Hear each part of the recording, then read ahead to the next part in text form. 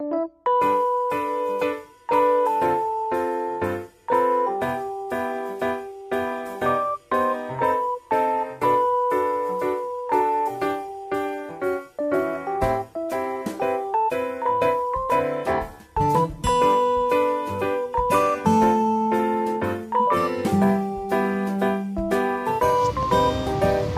perilaku kompeten yang saya terapkan yaitu meningkatkan kompetensi diri untuk menjawab tantangan yang selalu berubah dengan cara mengikuti seminar-seminar online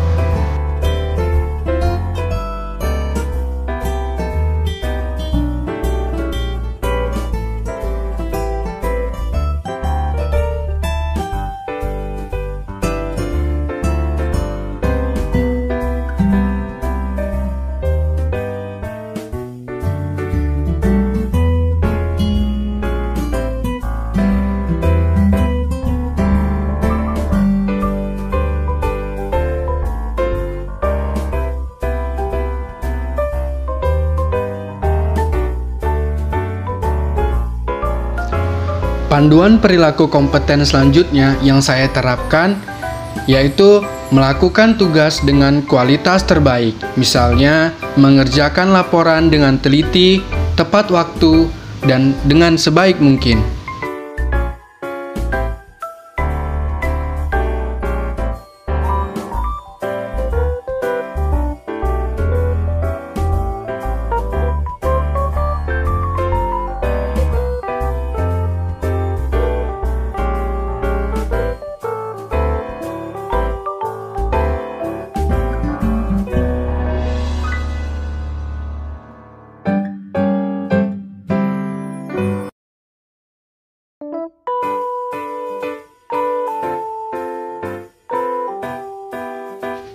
Saya, Rahmat Rifai Lubis SP, penyuluh pertanian Desa Simodong, Kabupaten Batubara, terus belajar dan mengembangkan kapabilitas.